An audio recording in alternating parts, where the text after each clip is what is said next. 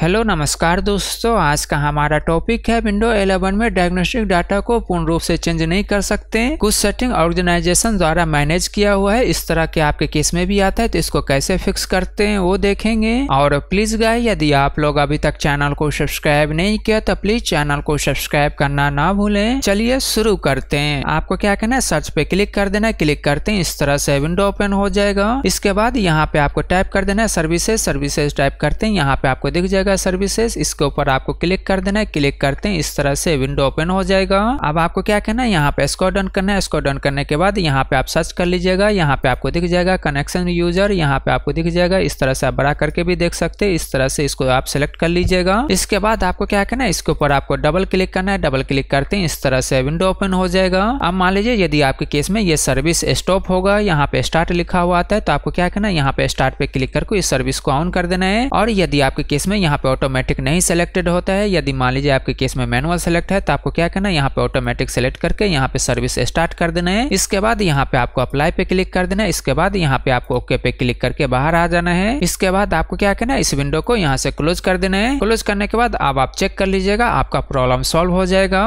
और please guys channel को subscribe करे लाइक करे शेयर करे थैंक यू